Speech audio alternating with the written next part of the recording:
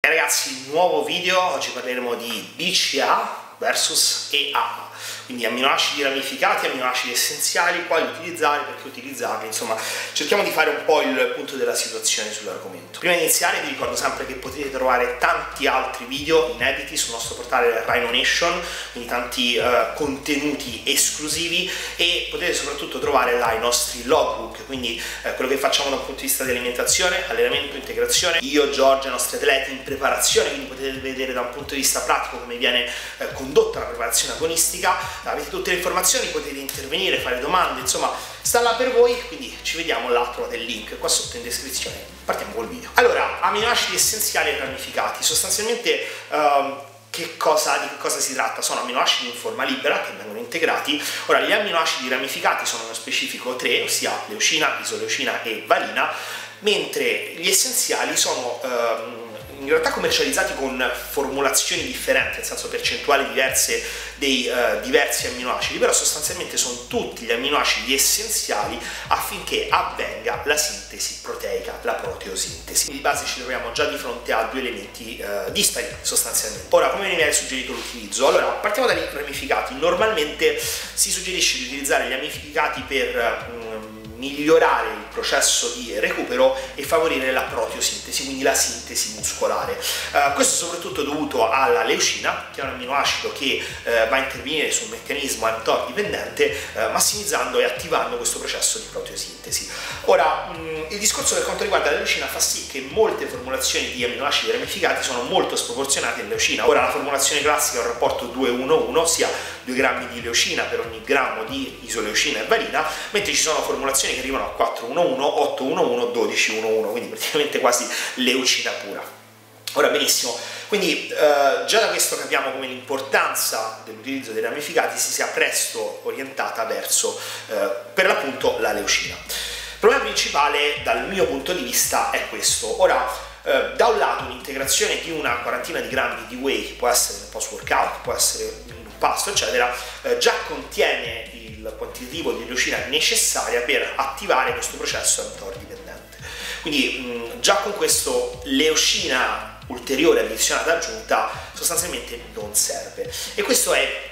è vero anche nella maggior parte dei casi di pasti con una fonte alimentare eh, proteica nobile, quindi un pasto con eh, 200-250 grammi di pollo, eh, un pasto con un tot di carne rossa, un pasto col pesce, insomma generalmente il quantitativo di leucina necessario per attivare questo processo di eh, proteosintesi è garantito. Quindi aggiungere dei BCA a parte eh, non ci dà ulteriori vantaggi. L'utilizzo combinato con un altro pasto proteico in generale non è strettamente necessario. Um, molti invece lo utilizzano in situazioni di digiuno, di fasting o quando non mangiamo da un tot come spuntini eccetera proprio per dare questi input di proteosintesi continui. Ora,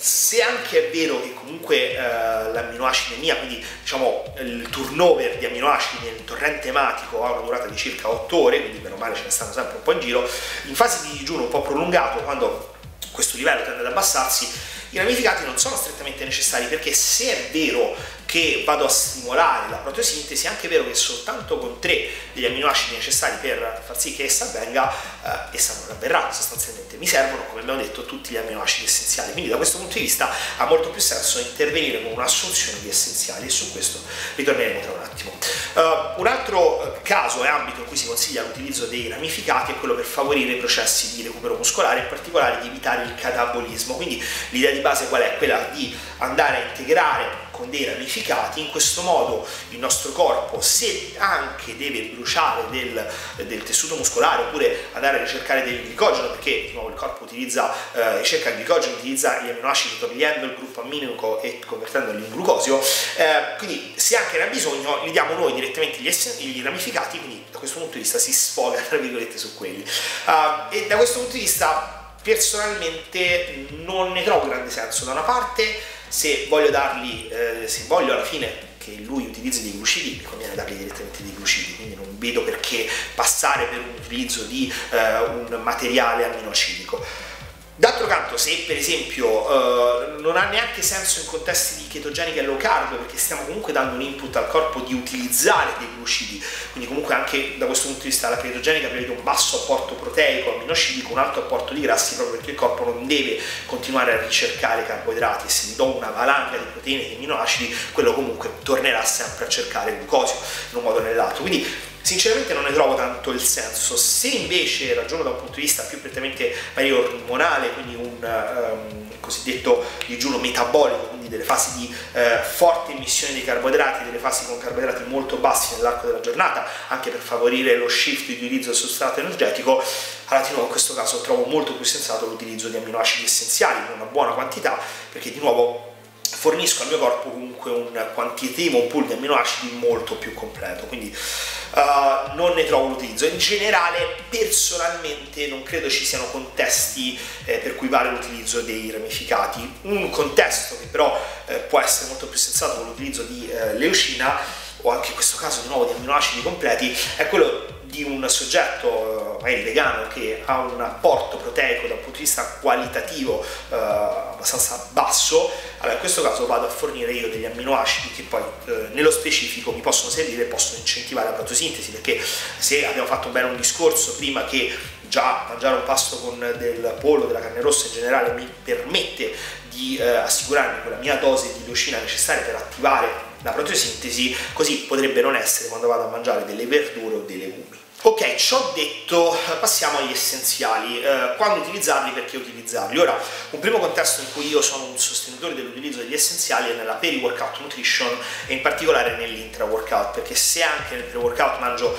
eh, magari un'ora e mezza prima, utilizzo delle proteine isolate o idrolizzate, io personalmente utilizzo le EvoPep, quindi mi garantisco comunque una veloce digeribilità dei nutrienti, ecco, nel caso di un intra-workout io logicamente non posso appesantirmi troppo, non voglio pesare troppo su tratto gastrointestinale perché questo vorrebbe dire andare a richiamare sangue in loco e ehm, non permettere una saturazione delle fibre eh, che io realmente voglio e per questo faccio riferimento al video sull'FDFS che, eh, di cui ho parlato. Quindi in questo caso in intra-workout la soluzione ideale è quella di utilizzare o amminoacidi in forma libera, in questo caso di nuovo essenziali perché voglio garantirmi un pool aminoacidico eh, completo e voglio che tutti questi amminoacidi vengano inseriti e schiaffati dentro il muscolo affinché eh, si crei questo modo questa, uh, ci sia del materiale strutturale quando i processi di recupero avverranno um, e in secondo luogo posso utilizzare dei peptidi, quindi uh, proteine idrolizzate a un'alta percentuale peptidica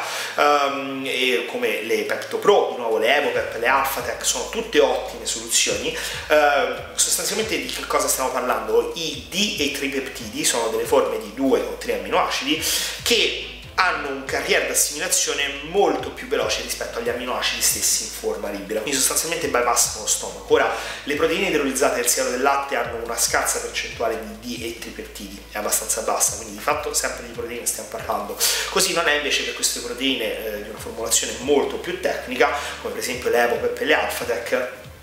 che eh, hanno una percentuale molto molto più grande, un alto, che hanno una percentuale molto più ampia, un alto grado di idrolisi, insomma sono soluzioni che vanno bene anche per il nostro intra-workout. Però di nuovo io personalmente utilizzo aminoacidi in forma libera o gli aminodex, insomma un po' l'aminoacidico che peraltro so che è ben ponderato, perché il problema è anche questo che non tutti i pool aminoacidici sono uguali dal punto di vista di equilibrio dei diversi aminoacidi. Quindi intra-workout, in alcuni casi potrei dire post-workout, però di nuovo ritornando al video FDFS, quindi sul metodo di allenamento eh, di saturazione delle fibre, sul fatto di voler tornare prima a un basso livello di cortisolo ehm, per poi poter mangiare, io tranquillamente in post workout utilizzo anche in questo caso le Evopep, proteine idrolizzate con cui mi trovo molto bene, eh, o comunque delle isofugi, delle proteine isolate che in questo contesto a mezz'oretta dall'allenamento riesco a digerire assolutamente bene. Uh, quindi questo è un primo contesto. Il secondo contesto in cui vado a utilizzare, suggerire l'utilizzo degli essenziali è in periodi pre-contest andando a scalare la quota proteica. Che cosa vuol dire? Uh, ora, primo punto su cui ragionare è che uh, non dovete fare paragoni su uh, a quante proteine corrispondono tot essenziali, cioè molto spesso viene chiesto a 10 grammi di essenziali quante proteine corrispondono? No, 10 grammi di essenziali sono 10 grammi di essenziali, vengono utilizzati in contesti specifici per esigenze specifiche, quindi non state a fare paragoni o contesti. Però una cosa che si può fare in contesti di pre-contest, soprattutto per le signorine, um, e che mi piace fare personalmente, mi sono sempre trovate bene, è proprio quello di andare a scalare la quota proteica in favore di un alto apporto di essenziali. Eh, come detto, gli essenziali vengono utilizzati per creare del tessuto muscolare, stimolano la proteosintesi, quindi mantengono anche l'eventuale catabolismo nelle ultime fasi di pre-contest e io ho due vantaggi importanti, il primo riguarda la digeribilità, nel senso che non vado a pesantire lo stomaco che eh, soprattutto se voglio avere un'ottima midsection sul palco deve essere curato molto bene, non deve essere appesantito, non deve avere bloating eccetera e in secondo luogo vado a diminuire comunque eh, l'input calorico dell'alimentazione. Quindi quello che normalmente vado a fare è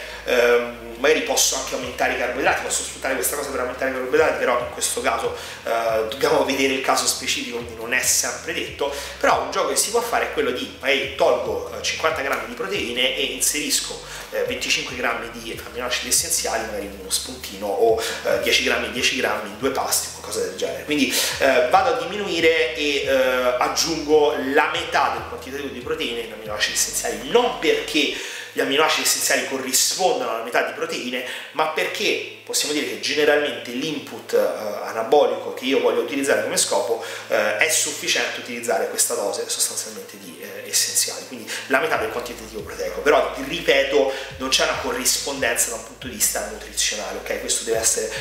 ben chiaro, ok? Ora, questi sono sostanzialmente gli utilizzi che io faccio personalmente degli essenziali, il resto non mi piace accompagnarli tra i pasti, durante i pasti, in aggiunta ai pasti, eccetera, se non c'è un'esigenza specifica. I ramificati sostanzialmente non li utilizzo, non ne trovo un, un senso, comunque preferirei in ogni caso l'utilizzo degli essenziali.